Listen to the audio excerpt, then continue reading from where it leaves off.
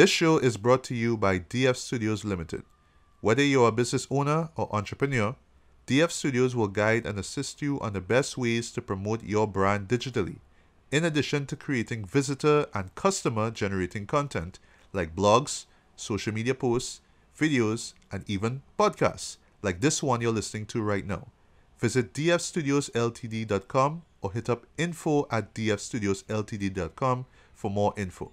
So, good morning, good afternoon, good evening, good night, whenever you're listening to this. This is Machi BD alongside my critique companion crime, Ricardo Medina.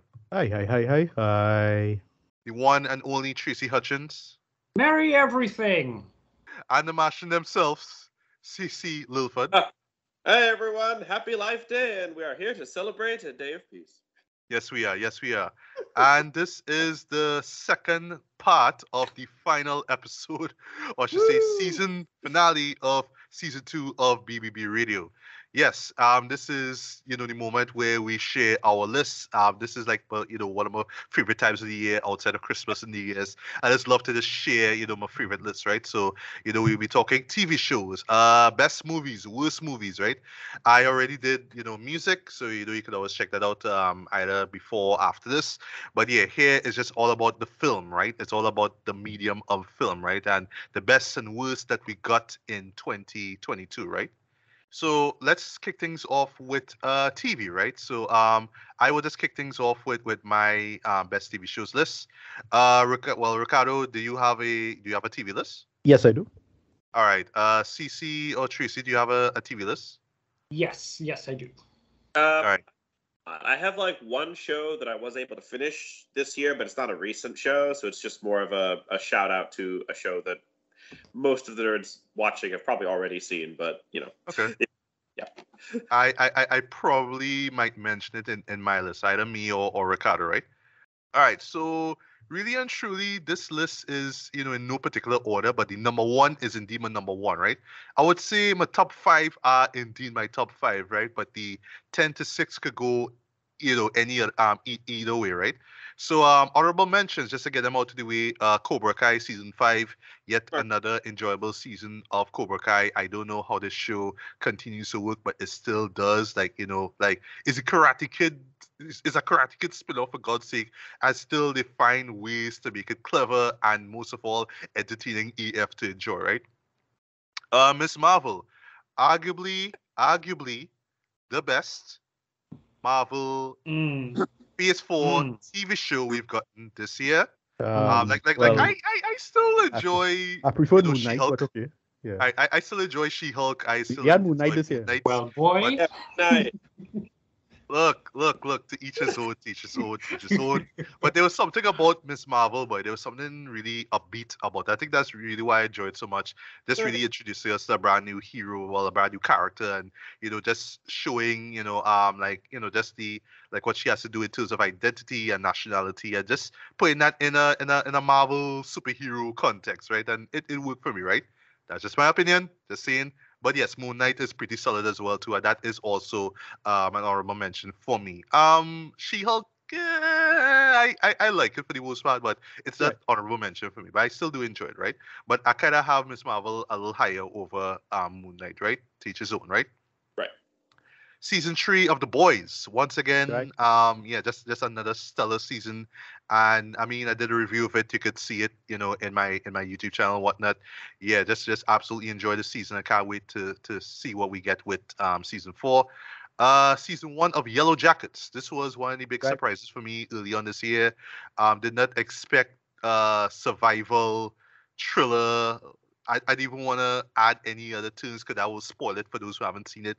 But yeah, Right. this was just a surprise, though. Just so much um twists and tunes and just subversions of particular genres, right? That's all I'll say. Uh, Wednesday, uh, really enjoyable, um, you know, series of on Netflix. Would have thought that so. you know Addams Family spin-off of the work. Just, just great performances throughout, and just a lot of fun though. Um, just, just true, true, true. And uh, right, the name I was trying to remember. Sorry, Jenna Ortega. Um, she, she is Wednesday Addams. She is Wednesday Addams, true and true, right? And last but not least, after, after give a special shout out to the Sandman.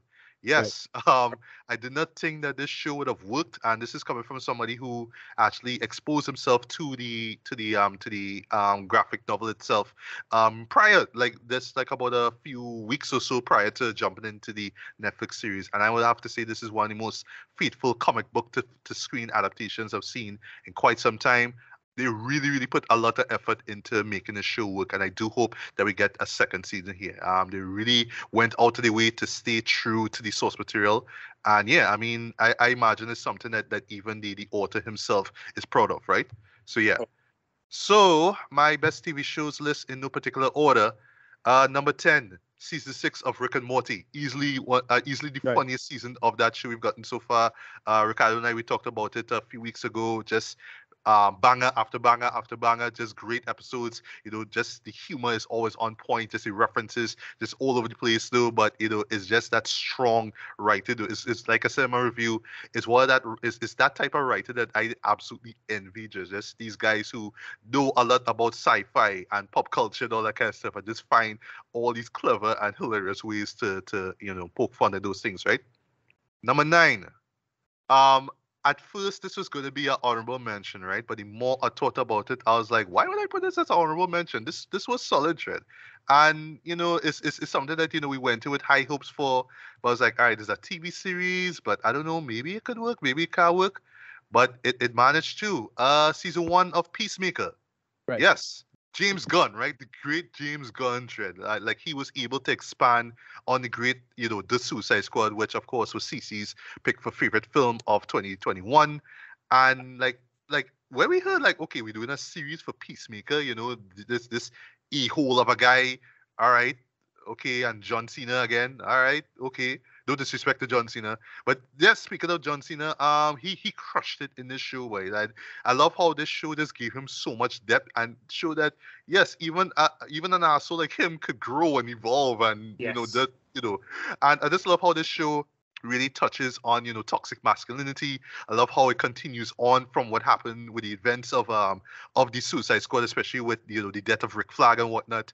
Right. And you know again it's James Gunn, so it's just all this subversive humor. You know it's very crass and you know um, violent and whatnot, but still it has a lot of heart to it, a lot of emotion to it. And of course, I mean that that team song, that team song. Do you really, really, do you really want to taste it? And just that that opening sequence alone, yeah, that's one of the best things I've seen in 2022 so far, man. Ah, Number eight, a docu series that uh, I put you know Ricardo on, and we absolutely enjoyed it, despite the subject matter and despite the fact that you know we we really despise this guy. We need to talk about Cosby. Right. Yes, a solid, solid, solid Boy. docu series. This went so in depth into what made Bill Cosby the man he is, and showing you this the, the the piece of shit that he really was, you know, behind the surface. And you know, it just went so in depth though. It's just such a fascinating subject matter though, and it, it really shows, yeah, just just why you know um, Bill Cosby was so highly revered back in the in the seventies and eighties, right? And how you know the you know the fall of grace right afterwards, right? Just a stellar stellar docu series, right? Number seven, The Last Days of Ptolemy Grey. Um, this was a great miniseries. It starred um, Samuel Jackson in easily one of his best performances. Um, this was so poignant, so uh, moving, so emotionally driven as well, and it's just a great character piece as well too. Um, you really buy into Samuel Jackson just being this old, weathered down man um, who's just trying to find his his sense of redemption, you know, before he passes away, man. And yeah, this this this made for a great miniseries, right? Number six. At first, when I saw the run times for these episodes, I was like, I don't know. I don't know. I think Netflix trying to outdo themselves here. I think they, they're really stretching beyond the reach here. But like when I really sat down and took in that full season, and even though it took me um, a good while to really take in everything, I was like, yeah, Netflix. I mean, I, I would say right off the bat, this was a ballsy move on their part, though. But when you really think about it, it was just so damn clever. Of course, I'm talking about season four of Stranger Things. Mhm. Yes. Yes. This is easily the most ambitious season of Stranger Things so far. And what I mean is, is that every episode feels very much like uh, like like movie. It's it's like the length of a movie. Literally, like it feels like the length of a feature, right? And at first, I was like, all right, we're doing an hour and a half episodes, close to two hours. I don't know. They're really gonna stretch the story out. And no, the the uh, the story itself was exciting. It was engaging. It was thrilling. It was genuinely scary in some parts though, but it was so emotionally driven, so heartfelt, and of course, you know, it introduced a new generation and reminded an old generation of why Kate Bush is one of the greatest Yes, uh, please. musicians you know ever to I am- exist. So yes, I I'm- totally agree, right? But yeah, just to touch quickly on, on Netflix, boys. So again, just for them to say, here's what. I know you could go in the cinema right now and watch a movie and enjoy yourself, but here's what. We're gonna give you the movie experience right now in your house with a show that you know you love, right? And yeah, they pull that off very well, man. I am excited as hell to see what they bring with season five, man. I hope that we don't have to wait too long, cause sorry, Millie Bobby Brown and company eh, eh, eh, eh, eh, getting any younger, right? I mean, just saying, right? Uh, number five, Adult Swim's Primal season two. Um, this was a show that you know Ricardo and I praised the high heaven. We absolutely loved the season here. It was you know just Genndy um, Tartakovsky just returning to that brutal, grimy you know world of Spear and Fang, and where he took those characters though was just really amazing though, and just ballsy my opinion though. He like literally evolved these characters in ways that I did not expect. Right now, I don't know if we're gonna get a third season, man. I really hope we do, but you know, I know Genndy's working on a project right now, but I do hope that if we do get a third season, you know, he takes his time with it and really, you know, um, delivers on the greatness that the first two seasons gave him, man. And and if this is the actual end of the series, um, I I, I I'm happy with it. I'm actually happy, you know, with the way where it stops. Right, that's all I'll say. Before. We've gotten three Star Wars TV shows this year, but let's be real, this one is the best. Andor, season one, easily the best Star Wars TV show ever. Sorry, fans of Obi Wan Kenobi and Book of Boba Fett and Mandalorian. Sorry, Andor is the best, right? Um, this this did something that I didn't I didn't think was actually possible though, where they actually like you know the joke I make with um with with Rogue One is that they actually like you know circle the word war war sorry and scratched off the s in wars and just focus on telling a wartime story. So it feels like very much like you're, you're watching some sort of like world war ii um thriller or something like that right? But here they really expand on that very well right? It's actually way more dramatic than your average star wars show. It goes very in depth into characters and whatnot and world building and whatnot. I love how different it is how less action packed it is and it's more you know character driven more tense more suspenseful um, and you know it's it's not about you know the the the you know the space wizards and cowboys and whatnot. It's about the soldiers, about the people who are on the earth, or you mean, or or you know on ground and whatnot. So much having to deal with the situation involving the empire against the um, the resistance, and it just made for some really like thought provoking by Star Wars standards, right? But just genuinely thought provoking um storytelling here, man. Yeah, easily the best Star Wars show we gotten so far, right? Number three, I'm taking it to HBO's House of the Dragon. Yes, I mean I know a lot of people were burnt by you know the last season of Game Yeah, of Thrones, but yeah, but House of the Dragon brought it back into pure form. I love the fact that it's centered on one house, if you will, and all the bacchanal, as you say, through that. It just went so in depth into though, um, just really fully fleshed out characters, though people that you'll root for, people that you'll despise, people that you'll end up liking, if you know you despise them. And I love how you know it's not all black and white. I mean, it's it's a it's, it's a trope. You know, it's it's one of the, the, great things about Game of Thrones, right? Like nobody's really righteous in this world, right? But here they just went so in depth into the unrighteousness of these individuals. I have to say though that that finale though was just mind blowing, and I can't wait to see what we get with um with with season two here, man. So number two, um, a show that you know Ricardo and I we've been praising from the moment it dropped though. Uh, but Ricardo, I know this will show up on your list, but you know I, I guess I can understand why I put it here, right? So this is kind of a tie, somewhat, right? Atlanta, season four, the final season, and to an extent, season three. Yes, I had to put both seasons into it, right? Now, yes, um, season three is the weakest, you know, in quotes of you know Atlanta, but it did do some really bold, daring, you know, um, narrative moves and whatnot, right? And I have to applaud them for that. Um, just the mere fact that they actually did like these standalone episodes that have nothing to do the, with the main characters of Atlanta, I thought was really brave as well. And again, just bleeding into to season four is just that same provocative, you know, and, and really intelligent and insightful um narrative, you know, well, just that storytelling, right? Um, how it just touches not just on, you know, how it is to be a black man in Atlanta, but just just period. I mean, and, and just about the the the Gen X experience and whatnot, and having to deal with it in modern times. Um, I can relate to these episodes, and you know, there's the characters and moments in more ways than one. Um, even though it has, you know, its absurdist, you know, humor and whatnot. But yeah, I I can relate to these characters though. Just where the show took those characters, especially the final season, though, I was loving everything about it. And it's it's one of those shows that I wish could have gone on for just one more season, by. But you know, the cast and crew decides, yeah, well, let, let's just stop at this point. And I mean, I I I. I mean, I, I, I'm I'm happy with that. I'm actually proud of that, right? But yeah, this is definitely a show in general that I will be going back to for years to come. And number one,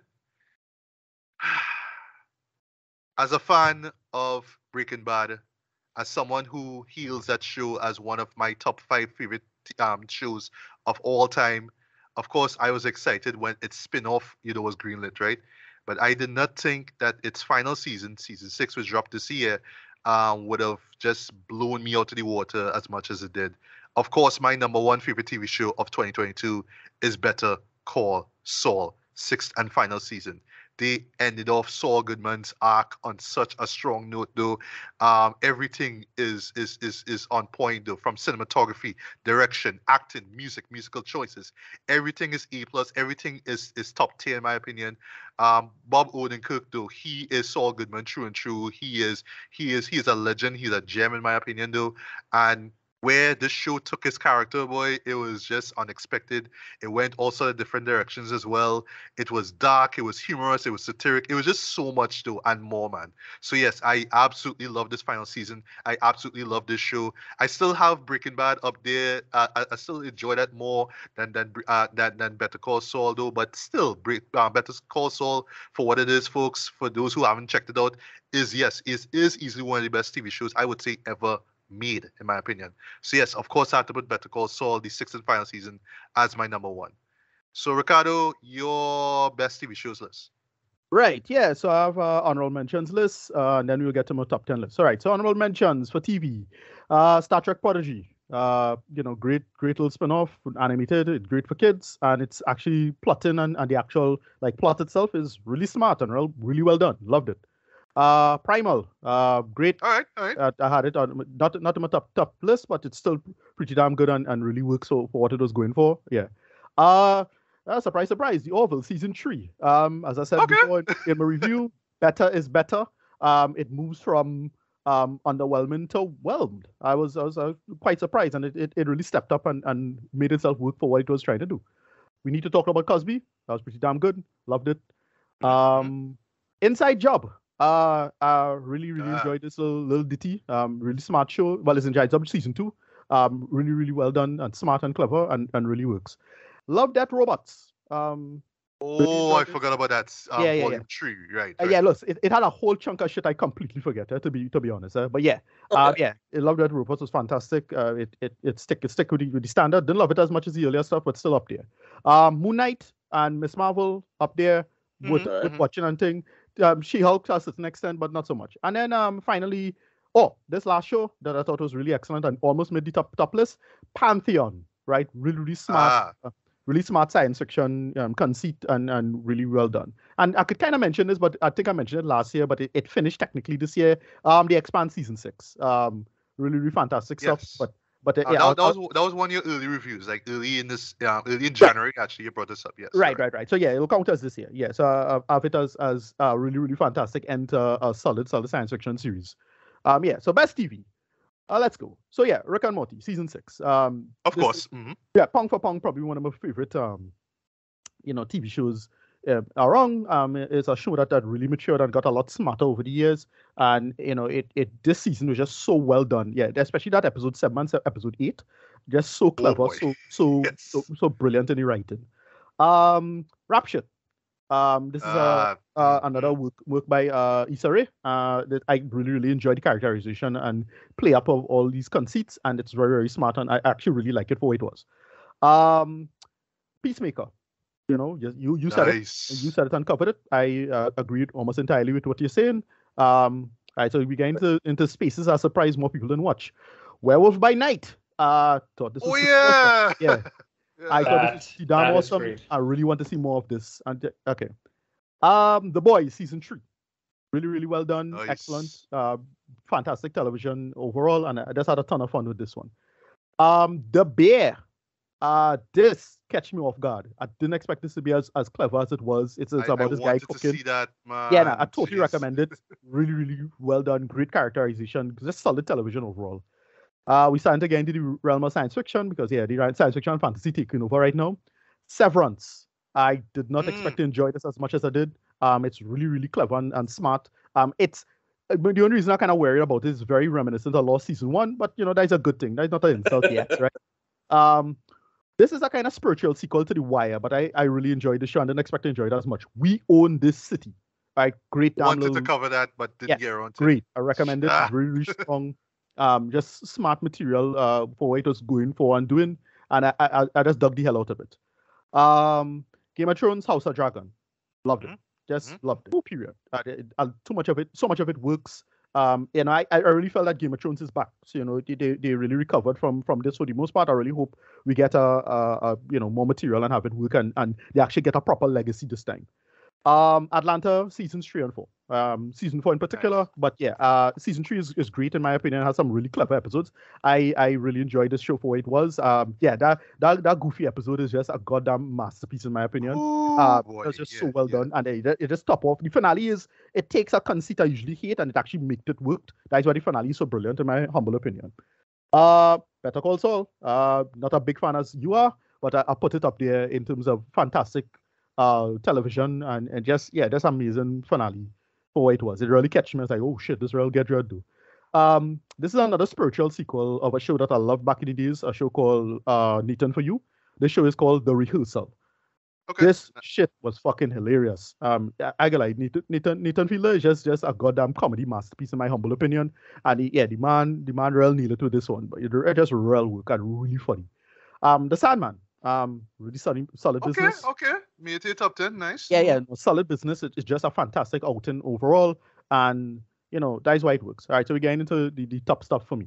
Um, winning time. You know the Lakers dynasty. Yes. I thought Mhm. this was so awesome. Loved it. Um, it just just really really worked. Uh, just solid business overall. And and yeah, um, uh, what's the guy's name by Quincy Thomas? I forget the guy who was playing Magic Johnson. That guy who played Magic Johnson, excellent. But everybody across the board is great. It's not historically accurate, so that's not it, its intention. And once you get out, once you get over that, it really really works. Um, this one had to make it, of course. Star Trek: Strange New Worlds. This show Ah, kicked right. ass.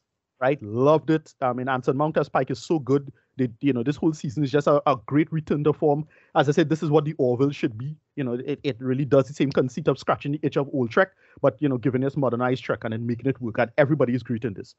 Uh, well, I have to mention this one. This this is a you know, whole data mart, and I'm just so glad they did, did a good job of adapting it. Bleach, the thousand year blood war arc. Uh, ah. boy, this I, I'm, I'm gonna get into it. I'm gonna get into Boy, it. This, this- this, this- for, for the arc or whatever, Yeah, or the the halfway point to, to, to reach there. The anime people did such a fantastic job on adapting this arc, and, and it's one of the better arcs of Bleach in my humble opinion. Not my personal favorite arc, but it's it's up there. And yeah, well, the number one, the stuff that actually had me waking up three o'clock in the morning to go watch. No other show did this for me. Actually, was waking up three o'clock in the morning just in, ta- in anticipation of watching it because it was so well done. Had a couple pacing problems, but I really loved it overall. Andor. Uh, my favorite of the favorite television for the year. Yep. Uh, this thing just really worked. Listen, Luthen Rael is probably my favorite character in all of Star Wars now. That dude, as the kids say, have that dog in him. That man is such dude, a dude, great um, character. S- S- um, Skarsgård, Dread. Skarsgård Yeah, for the win. I you mean, know? this man was just so damn awesome and great, and he just kicks so much ass. But yeah, uh, yeah, number one for the year, Andor. But yeah, all the other stuff was just with with my time and and took took the thing. So I, I don't remember forgetting anything, but yeah, that was my list there for best. TV. All right. Okay. Okay. Great list though. Love that list. And you know some titles there that I really need to check out, right? Uh, CC, your TV shout out thingy. You want to share that now? Yeah, no. So uh, a lot. I saw a lot of the, especially the nerdier stuff you guys saw this year. Uh, so uh, Primal, fantastic. Uh, Moon Knight, fantastic. Werewolf by Night, fantastic. Uh, as far as like oldest show I watched this year that I finished, I finally finished Star Trek Deep Space Nine. Nice. My Mm-hmm. mm-hmm. my Nice, pick nice. one of the greatest television shows ever made, like Yep. regardless of, regardless of genre, regardless of medium era. I can't think of one that even comes close. It was a show that was uh, it actually left Netflix this year, which was which was really sad. Uh, they moved it over to we have it here in Trinidad still? Like, it- Oh. Netflix, we still have Oh, it, so I could. great. Lucky us. No, now You I now bet. I could check it out because I haven't even started this yet. Oh, To be honest. Definitely. Well, so what ended up happening was I ended up having to binge it, and at first it was a little slow, but the show when it gets going, it Mm. just like clicks along. So like binging it felt like nothing, and so by the last few seasons, I was getting through like half seasons in like a, in a day because I was just hooked and absolutely needed to see it. Yeah. Um, and then as far as stuff that came out this year, the two best shows that came out this year that I saw, it's a tie between Peacemaker and House of the Dragon Nice. because both both of those shows do fantastic things with character. Both of them are shows that kind of went into this with a, like the the deck stacked against them. Like Right. Peacemaker, James Gunn picked the the character from Suicide Squad that everyone hated and said, "All right, we're going to give this guy his own show." And everyone on the internet was like, "What the hell are you doing? Like no one wants this guy. He's terrible." And like I feel like Gunn almost took that as a challenge. Yeah. Like like as a writing challenge like, "Oh good." But then House of the Dragon you have a whole new creative team, right? So we've lost we've we've lost Dumb and Dumber from the original Game of Thrones show Yeah. as showrunners. yeah, Well- yeah. Right. But the new team now have to prove themselves. They now Yeah. have to remind everyone why they cared about Game of Thrones. And for someone like me, who never watched the original show and never read the books, I'm going into this completely blind, going, okay, let's let's see what you can do. Let's see what let's see if you can impress me. Let's see if you can get me to tune in every week.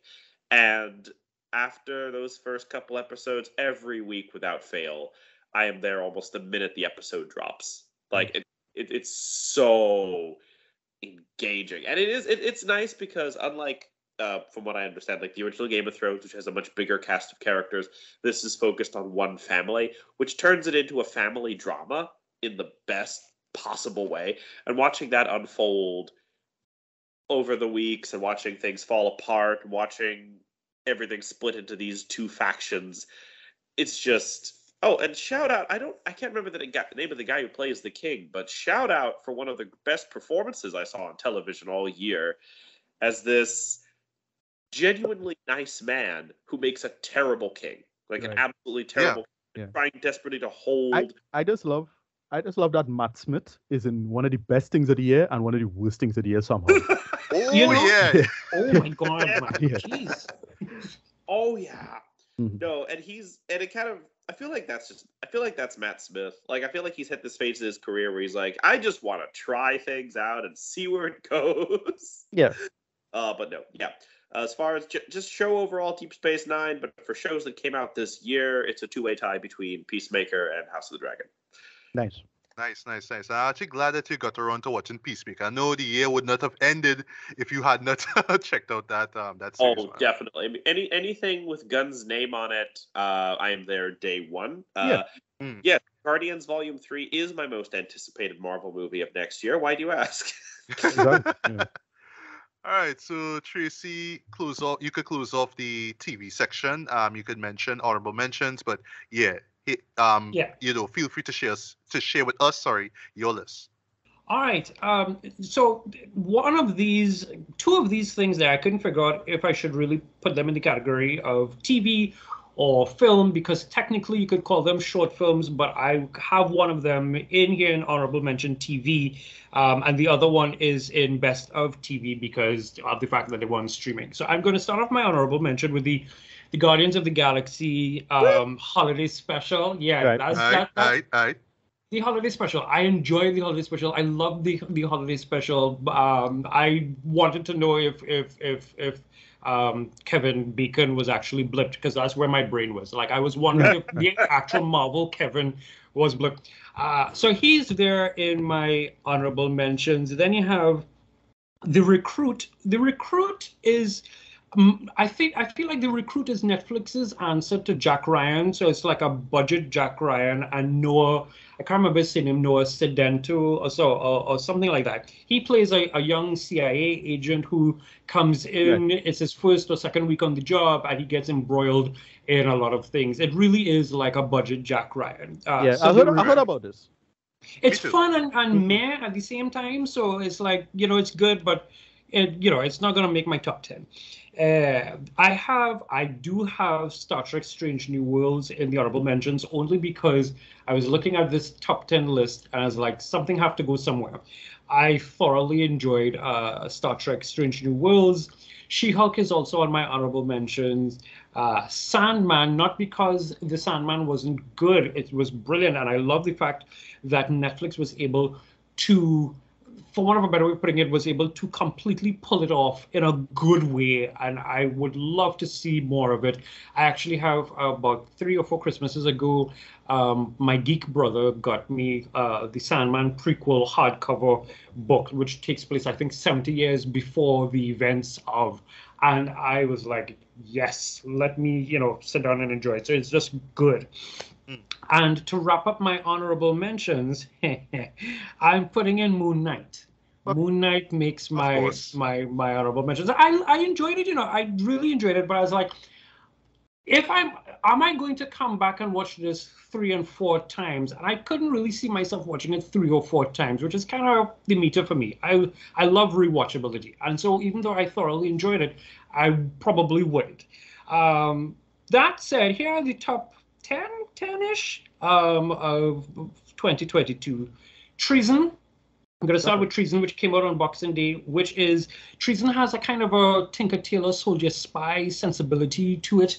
Um, It's uh, what is it? It stars Charlie Cox, and he's MI6. So and Cillian, Cillian, Cillian. God, I can't remember. It's not Murphy, but the other. Not, Cillian. not Murphy. Okay, okay. No, it's not Murphy. It's the other Cillian, um, the older dude, uh, the one who eventually got to play Steppenwolf, but you know, that's another story by itself. Anyhow, he, um, so he is the, the the the deputy chief of MI6, and there's a lot of stuff that's happening there, and there's Russians and all that other good stuff. So there's that.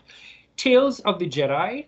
Uh, Tales of the Jedi for me, Tales of the Jedi did this thing that I kind of wish live action um, Star Wars films would do, where it was it, it allowed you to take a risk and say, here are some stories that are important that sort of build up the lore that you may not necessarily have known about. So like a lot of people may not necessarily know about Yaddle because you have like a Wikipedia page on Yaddle and that kind of stuff. And um, unless you're reading uh, some of the expanded universe books and that kind of stuff, you may not necessarily know about it. But here's how she was important. Here is why Count Dooku changed from being, you know, uh, Yeah, uh, I a, Jedi into and I, I was I was in love with it. I mean, like there's some audiobooks and stuff like that that goes into the master and apprentice route, so you get to see how Qui Gon and Count Dooku were pretty much the same.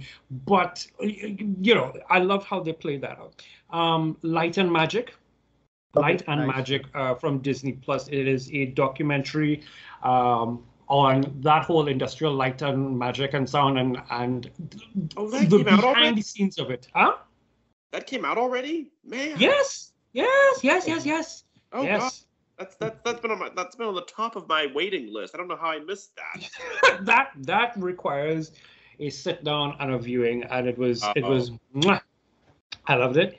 I'm also going to throw in here uh, this particular GT that came out earlier this year because Shonda Rhimes knows Bacchanal, and I enjoyed every minute of it. Inventing Anna. I was decidedly Okay. insufferable um, for like about weeks after anybody asked me anything. It's like, why are transfers on the wall? So that idea of building up the Anna Delvey character, who is Anna Delvey, who is the real Anna, and the story behind it. Again, Shonda, when Shonda sits down to do something, she really knows how to do something. Um, I'm throwing in Jack Ryan season three because John Krasinski, full stop. Um, John Krasinski has this kind of vibe that reminds me a great deal of Harrison Ford in these Tom Clancy, Jack Ryan roles. So for me, watching Jack Ryan season three actually has him dealing with the Russians. I mean, you know, go figure. And also the CIA, his own people are after him. And I just love it. I feel like when I watch those, and then I can now jump from watching uh, John Kras- Krasinski's Jack Ryan, I can go and watch Harrison's Clear and Present Danger and Patriot Games. It's like the same character just moving forward. And I would love, love, love, love to see more of this Jack Ryan series. Werewolf by Night, Mhm. it's brilliant. I have the soundtrack. I have seen it. It is good. I mean, Giacchino for all the win. So there you go. Um, and then we have well the top four. The top four will give you Rings of Power, Okay. which Oh yeah, that would have been an honorable mention for me. Sorry. Right. you It's know, honorable mention. I I I have spoken to I have a few friends of mine who is like I couldn't get past episode one, and I sat there and I watched all the episodes and I just there was there was something that decidedly made me feel completely joyful about watching this whole thing unfold. So Rings of Power is there. Um, Wednesday, without a doubt, Wednesday is um, number three. Number two and number one. number two and number one. So number two is Andor, um, Sure. because Andor is just. I mean, I think everybody in this room has said it. Andor is just greatness, and you know, I I want to see more like that in the world. And I will also throw out there because I have this little note. I think the key to enjoying Star Wars, and I really wish that the extended fan base would understand this, is maybe not to just walk in with a whole bunch of expectations, just enjoy the thing. Because Andor was one of those things where it's like, oh, we're getting a backstory on Cassian. Okay, great. But I don't know if I necessarily need it when I could get a backstory on, I don't know, Count Dooku, like, I, you know, we talked before in Tales of the Jedi. Right. So now you've come and you've given me Andor, and you've given me a backstory to not just his life, but like his his his adopted mother Maarva, you know, Yeah. his his his girl, uh, that whole network, and even that very cringy possible relationship that might happen with Syril and and Dedra. That's Yeah, yeah. just it just it grinds my gears. But Andor is perfection, so there's that. Now, number one is if there ever was a competition for WandaVision to have my heart where I would go back and watch this over and over, where I would play the soundtracks over and over. In fact, it is actually in part of my gym mix and all that kind of stuff. It is Miss Marvel. Miss Marvel Nice. because I mean I love I love everything that that uh, Marvel puts out in terms of their Disney Plus offerings, but there is there is something about Miss Marvel. It is not it is the the, the cultural element. Yes, I mean I'm not gonna lie. When I heard episode four and they're walking inside the restaurant and Disco Deewane started playing, I, was like, oh my god, it's Disco Deewane. Um, but the music, the cultural uh, references, the idea of an entire story of her coming to the understanding of who her family is and what power means and all that kind of stuff. It there's there's a vein that is similar to me with that to WandaVision, and I absolutely enjoyed it. So for me, my top uh, TV show is Miss Marvel, and that wraps up my best of TV for 2022. Uh, yeah, I just I just um slipped my mind. I just have a couple other shows for my honorable mentions. TV. Mm-hmm. Uh, Cyberpunk Edgerunners. all right, all right. Still, Yeah. still haven't gotten around to watching that. Right. I can't believe it. Like I don't know. Like I I I I don't Mar- Meridian uh, Strom because I miss Wednesday. Well, Wednesday. Yeah, Wednesday. Yeah. Wednesday's pretty good. And then Ah, uh, well- Bel Forget Yeah. about Bel All right. Yes. Yeah. Yes. Yes. Yes. Yes, um, yes, yeah. yes, Can, yes. can't wait for season two. Can't wait for Right. season two. Yeah, that's that's just the, the last three from uh, honorable mentions. TV. Yeah, but yes, Anyway, folks, as you can hear, there was a lot of great TV, right? Um, there's a lot of great movies this year too. and we, you know, we, we saw a lot, right? Oh but yeah. there was also some some some bullshit, right? So let's not waste any time. Let's jump into worst movies. So I will kick things off, right? So I I, this I year, just want to get it. Can I can I vomit out this bile first, please?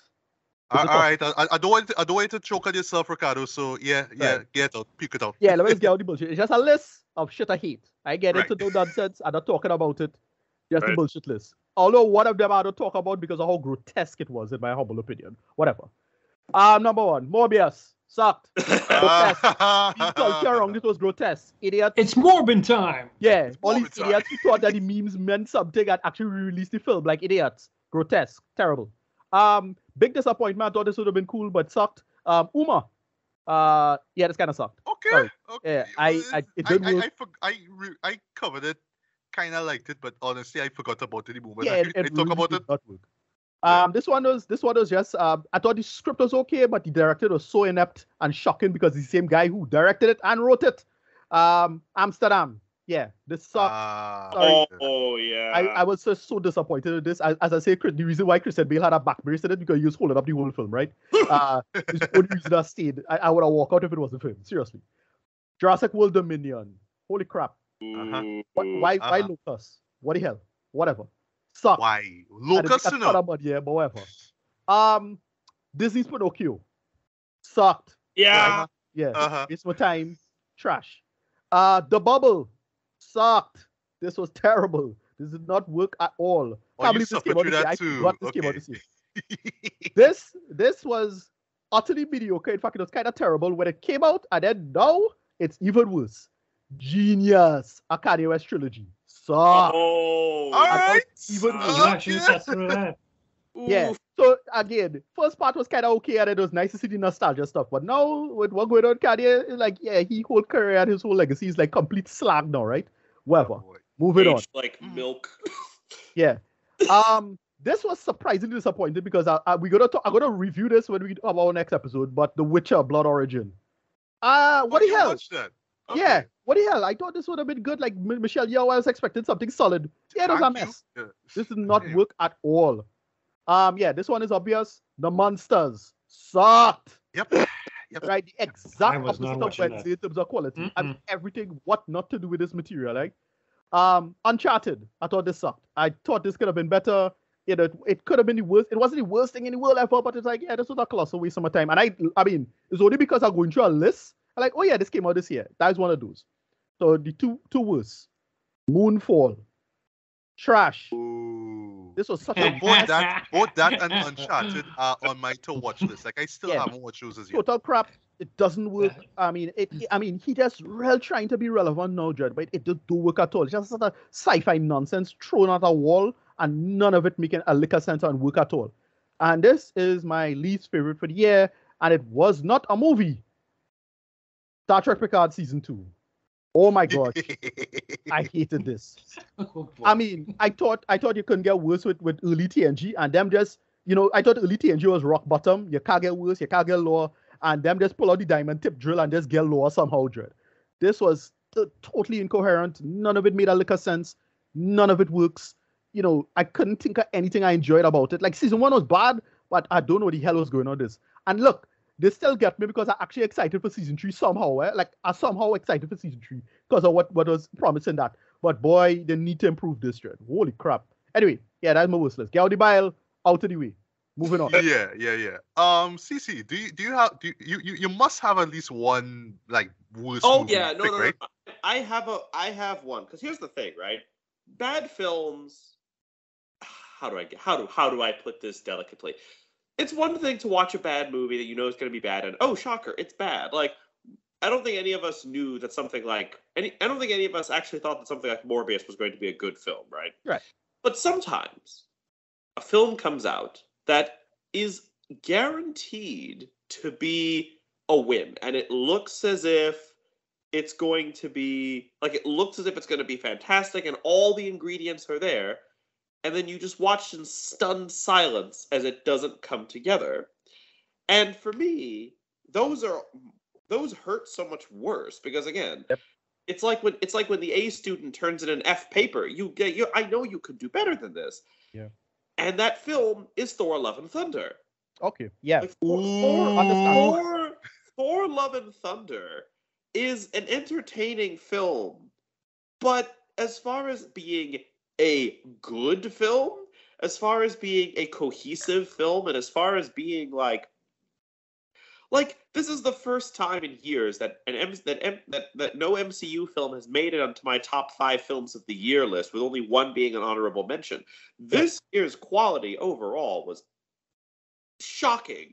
Yeah. Like it's like it's like a whole class of A students turning in Fs or Ds this year. Like some of the best MCU films we got were passable, which was absolutely shocking. But Thor: Love and Thunder somehow hurt, hurts the worst because if you had asked everyone after Ragnarok came back whether we would want Taika Waititi to come back and do another one, everyone Right. would have said yes. It would have been like, yeah, Yeah. absolutely, of course, that that's that's a no brainer. But then watching it, now you kind of want to go back in time and just kind of, now you kind of want to, now you kind of want him not to, Yeah. so that you can at least be left with the happy memories of Ragnarok. But no, um, tone is all over the place. Spectacle for the sake of spectacle, because like I have never seen a movie that so blatantly did does things because ooh, this will look cool.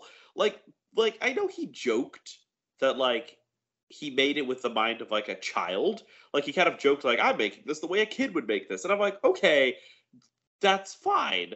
But I assume you're going to string some kind of theme or idea or some kind of like and like there's some stuff going on there. It's not an entirely thematically bankrupt movie. I'm not going to say that. But at the same time, given what came before and given what we know the man is capable of, this is the man who fought this this man's previous film was Jojo Rabbit. Yeah, yeah. This man this man is in talks to adapt um Andrei In Call into a film. The same year also brought us Our Flag Means Death. Fantastic show. Mm. But and yet, following up the movie that arguably brought him to mainstream success, it feels like a 90s sequel where instead of making a Mm.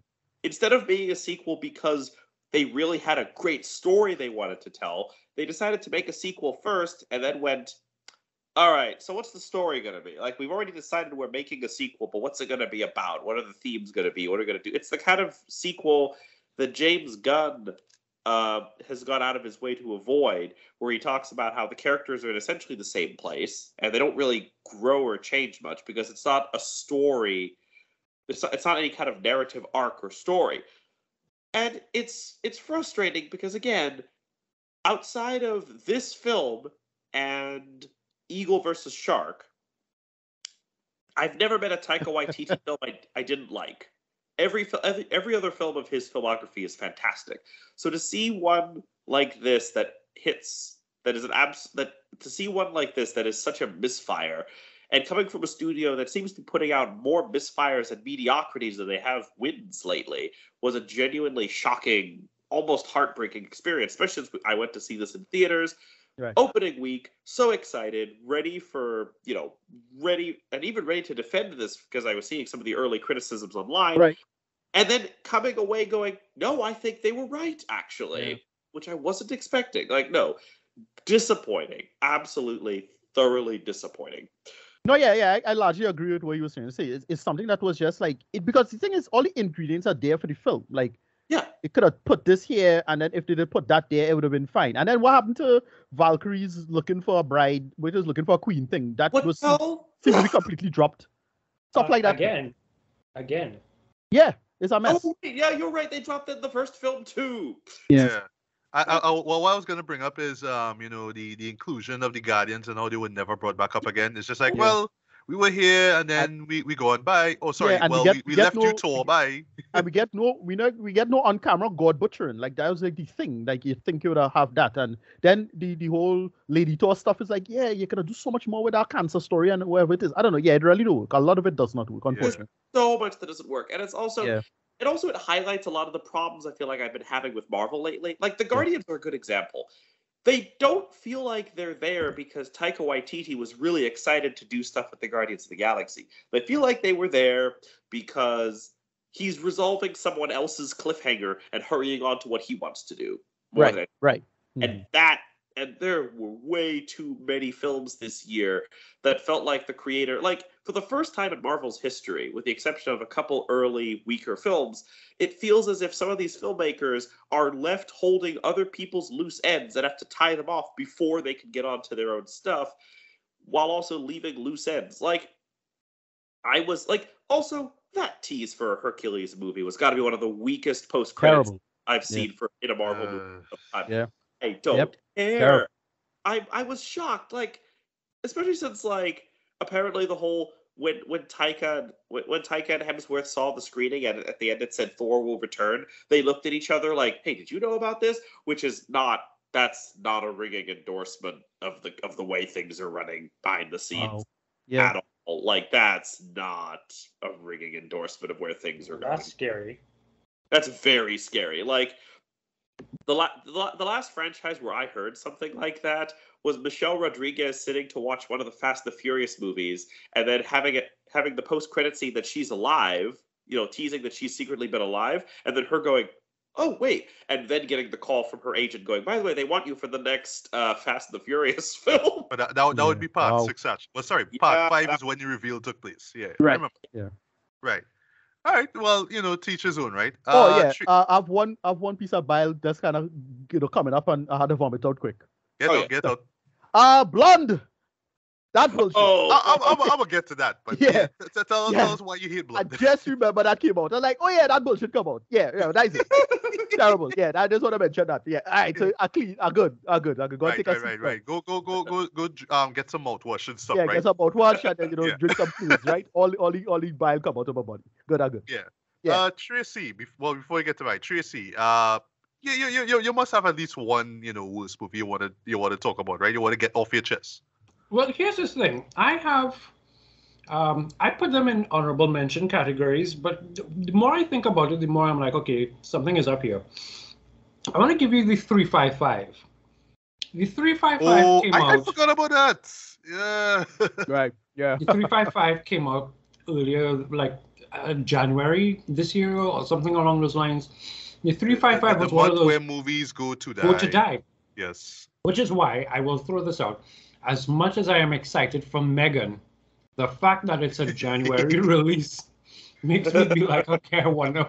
But the 355 had the 355 was was was was touted as being like this thing that it looked like it had everything. You had all these really amazing um, actresses who were Oh, there. Who there. it, Jessica yeah. Chastain. Hmm?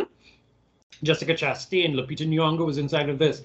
Um, and then you had uh, Sebastian Sebastian Stan was also involved. And I remember sitting down and I looked at the 355 and I was like, this has all the ingredients for a good time. Why am I not inherently feeling like it's a good time? And and that for me was that was my my big ugh. And then for the rest of the other stuff that I have here, I'm going to still put them under um, honorable mentions. Moonfall, funny enough, falls under honorable mention because I looked at that and I said, well, this is, you know, clearly a prequel for the Fantastic Four, where Patrick Wilson and Halle Berry is the new Sue Storm and Reed Richards. I could, you know, I looked at them, I was like, okay, that's fine. I'm going to agree with you guys in terms of Thor, Love, and Thunder. It is in my honorable mentions. Yeah. Uh, I will just all just say to that. I- um, you know, the, even the idea of I liked the idea of even Thor giving the kids the powers and all of that. I liked it, Oh, but I just I it's not it's not it's not rewatchable for me. And so you all know how I feel Right. about stuff like that. Yeah. Um, No, that's the, that's the thing it. It just need a like, in my opinion, it it at its core, it's not bad, in my humble opinion. Right. Yeah. But it just needed so much punching up now, and It's just, one of, it's, one of it's it's one of those. This is a nice first draft story. Right. right, yes. right. Yeah, it felt like that. Yeah, exactly.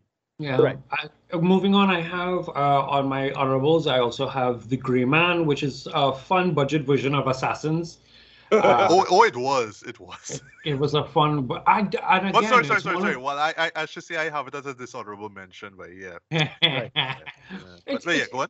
again, it's one of those things where it's like Ryan Gosling is in this, and and and and Chris Evans is in this with a mustache. It's like, yes, I'm clearly going to enjoy the hell out of this, and it was fun. I did enjoy it, but it's not something that you know I'd go back to. Uh, Violent Night is on it. Violent Night was a lot of things All all at once. As, as a dishonorable mention? Oh, okay. No, as a, no, I kind of have it. Uh, how I have it as as all of these are as honorable mentions. You know, the only one that really got me grind worthy was the three five five. Uh, Right, So the rest of them was they they all kind of fall under honorable mentions. Violent Night for me. Uh, my running joke, uh, as I said online, is I was watching this movie and asking, I wonder if this is a subtle treatise on the British monarchy because you have uh, an older, the, there's a family there. There's the son who has his his wife, an interracial couple who are trying to escape the family. There's a very old, grouchy, stodgy um, matriarch who is running everything, and all the other children are trying to suck up to her to get in a good books while somebody else is coming to invade. And somehow I just, Right. okay, you know, the monarchy. But I, I, the thing with Violent Night is that there was so much. Like I knew going in, it was going to be a Die Hard Christmas movie, but then it became Die Hard and Home Alone and some other stuff, and I was like, this is cool, but I don't see myself watching it more than maybe twice. So there's that. Um, Catwoman Hunted is one of those that I thought it was like a animation was nice, the story was cool, but still um, there's a there's a phrase close Right. but no cigar. So that's it.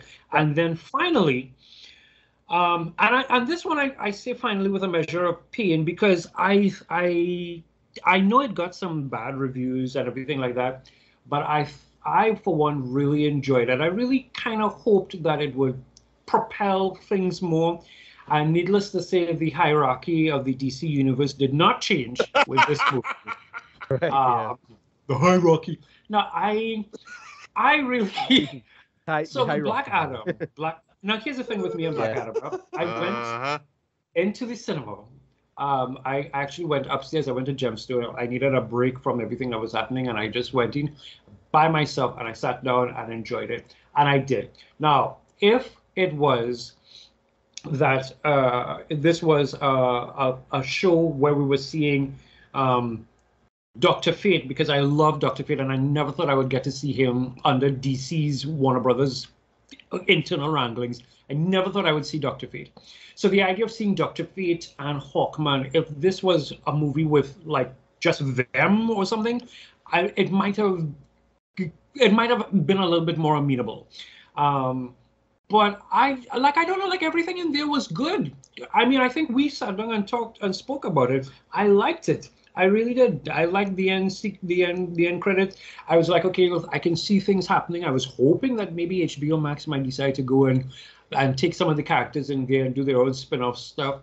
Uh, but yeah, the hierarchy did not change, and so I have that there as my my honorable mention. And oh right, and I have Lightyear because Lightyear. I, I it was good, but I I don't know.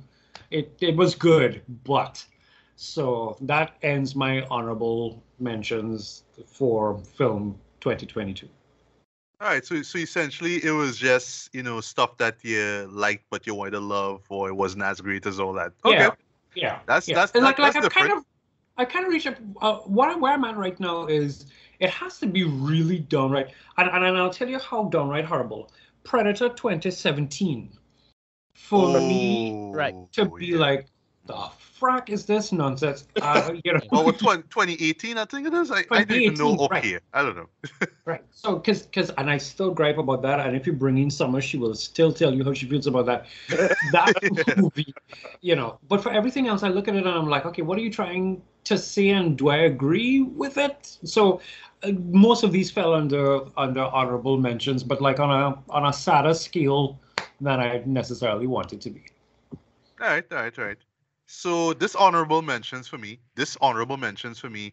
Uh, the Gray Man. Um, you have you know like actors like um like Chris Evans. Yep, yep, um, yep. you know in this and totally wasted. Just this generic ass story, and it's off on Netflix too. And and the, and the visuals look so bad. Like, and you can see like just the money that's being burnt on screen, man. Total waste, right?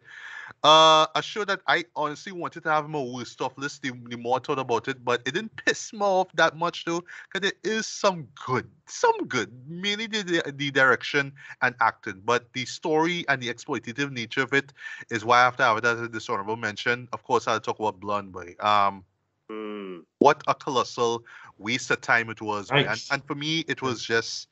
Uh, just a slog to sit through, boy. So Yeah. um, so redundant in terms of its message of saying, "Oh, it sucks to be Marilyn um Marilyn Monroe. It sucks Yeah. to be Marilyn Monroe," and just keeps beating you over the head with this for two hours and 40 minutes straight. It's like, my God, man, really? And last but not least, because I made the joke on Facebook, I'm, I was probably the only last person on planet Earth to see this before years end. Uh, it's Mobbin time. Yes, Morbius is a dishonorable mention for me, man.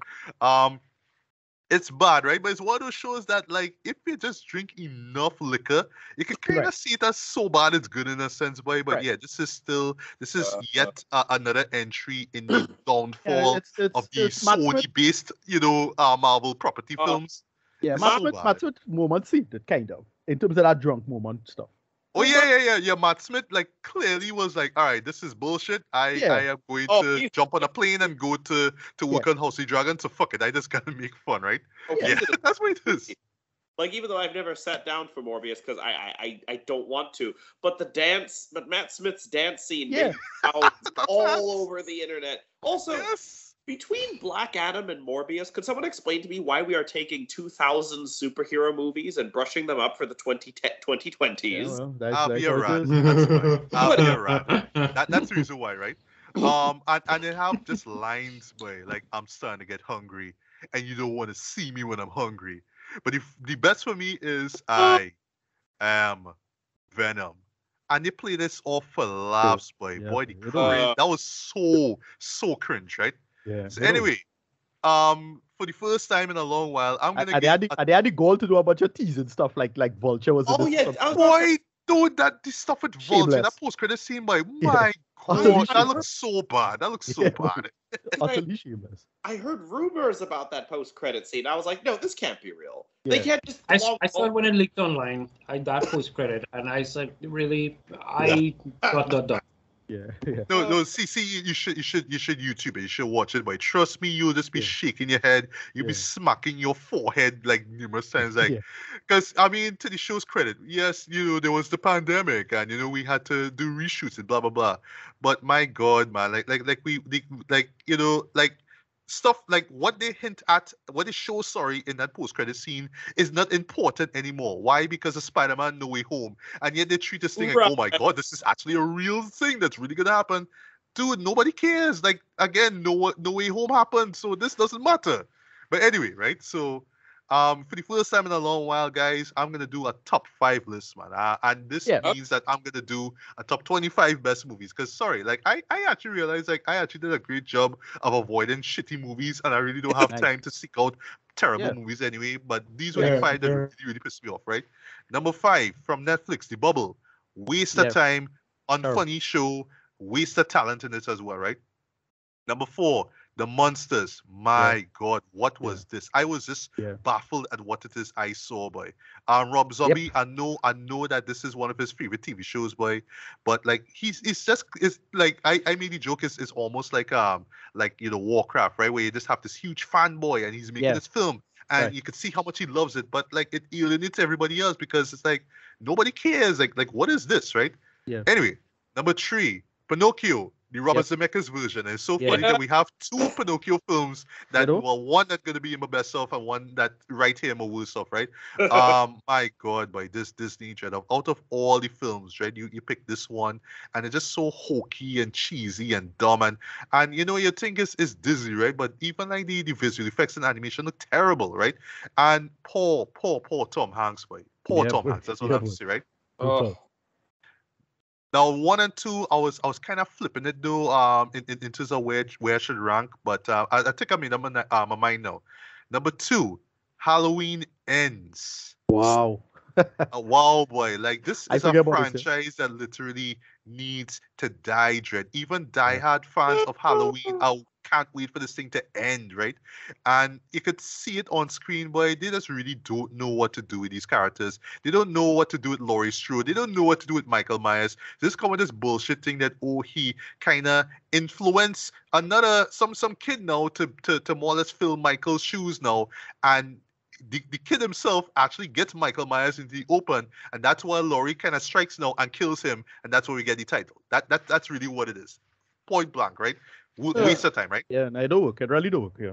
Yeah, and the joke I'll make is that in the next few years, the original Halloween is going to turn 50 years old. So I can't wait to see what Universal is going to do now, now to try to to milk this franchise. But right now, it's it's totally milked out. The utter is is completely you know um Dry. squeezed right now. There's really no not much you could do, right? It- It's done, right? And Yeah. number one, boy, one of the probably the most pain, actually the most painful experience I've had in the theaters, boy, talking about franchises that that not so much needed to die, boy, but could have gone on so far, I could have done greetings. This is their second chance at redemption, boy. A second trilogy. And just like the first trilogy, they ended off on such a piss poor note, boy. Jurassic World Dominion. Yeah. Yep, yep, yep, yep. yep. Talk I- I- about shitting the bed, boy. And it's so funny, right? Like the original film, still a masterpiece, man. And I still, I still defend, you know, the Lost World, right? Maybe because you know Spielberg did his thing, right?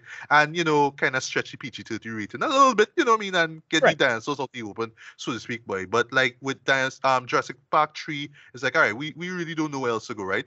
So Jurassic World came out, right? Yeah, Alan, right? So Jurassic World come out. It's like, all right, we get a little hope. Okay, okay, okay, maybe. And then Fallen Kingdom happened. It's like, uh, all right, stop. But no, they say no. We're gonna do a trilogy. So you think, all right, well, Dominion, all right, all right, we gotta get things back on track. Nope, shitty bed, throat, waste of Yeah, time. what, what's Lucas, frustrated? what the fuck, what- Lucas?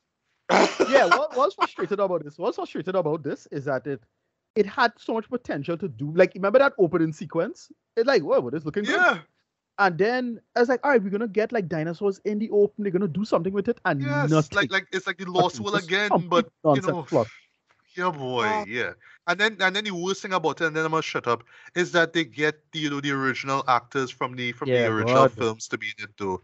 Poor Sam Neill, so Yeah, poor Laura Dern, poor Jeff Goldblum, shit. Like, I jeez, mean, well, I like, mean, they- I know they- it can they- be sarcastic, boy, but like even he and all, it's like, no, like I really need to be this sarcastic again. Like, I mean, you know, this it, this so much years of being sarcastic as his character, like it's starting to get stale though. Yeah, yeah. I mean, like, I, I mean, they're the- drying, they're drying their tears. They're trying to, they're drying their tears with the stack of money, yeah, but still, do what? I mean, jeez, well, you yeah, gotta boy, effort. yeah, yeah. But but yeah, this this show was an utter disappointment, boy. I was pissed off when I saw this in theaters, Yeah, boy. yeah. Terrible way to end off I- um to well to end off the Jurassic Park series, boy. It's it's Yeah. such a shame, man. You know what I mean? Yeah. That's all I have to say. Yeah, no, I was, I it was, it was fascinating to watch because I, after Fallen, after Fallen Kingdom, I was like, you know what? I don't need to see these films in the theater anymore. I'm good. But Yeah. then, and then it, it ends in this weird position where they end with like a lot of promise, and then I, it still wasn't enough to make me want to go see it, but you know, not it was a cool premise. And then I hear the rumor circulating that the main antagonists of the film are locusts. God. And I, Yep. that was the point. I was like, you know what? This is what happens. this is what you know what? This is what happens when you give yourself too good a premise and you realize you, you don't have the imagination to actually use it. yeah. So you just pick something else and it's ah yeah. Bro. Yes. Brother. Such such a shame, boy. such such such a downfall, boy. Such a downfall, right? Sadness. Sadness, way.